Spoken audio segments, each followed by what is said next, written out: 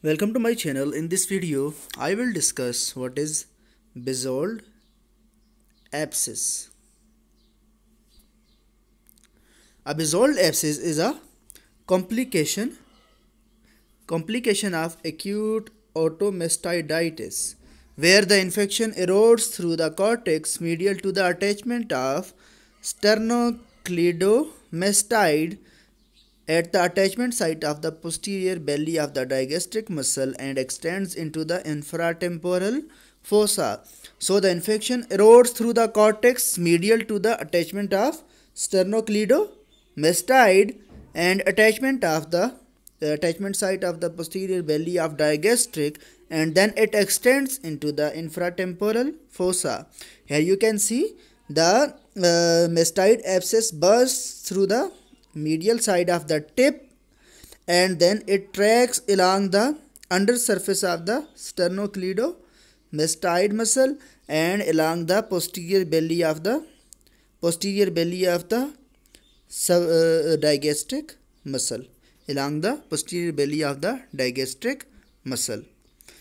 The clinical features in case of uh, Bezold abscess are severe pain in the perimastoid region difficulty in swallowing, dysphagia, sore throat, and difficulty in breathing, that is dyspnea.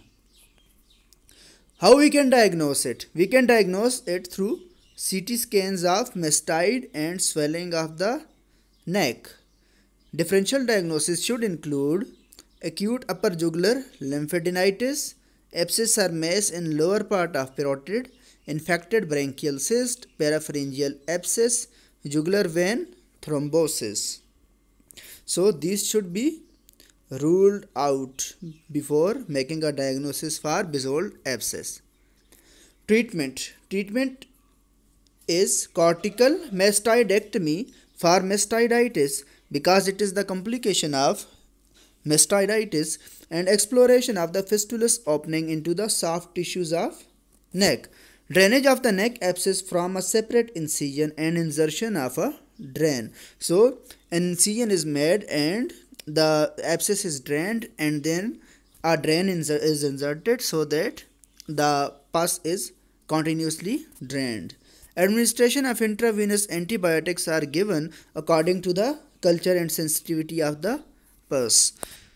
This is all about Bezold abscess. Thank you for watching.